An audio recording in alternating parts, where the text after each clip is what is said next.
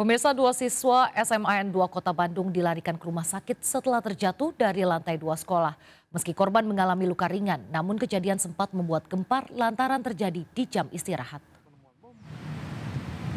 Dua siswa kelas 12 ini terlihat mengalami luka lecet usai terjatuh di lantai dua.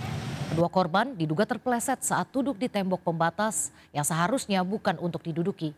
Pihak sekolah membenarkan telah terjadi kecelakaan yang membuat kedua korban dilarikan ke rumah sakit untuk mendapatkan perawatan lebih lanjut. Insiden ini murni kecelakaan sehingga tidak ada unsur pidana yang melibatkan pihak mana pun.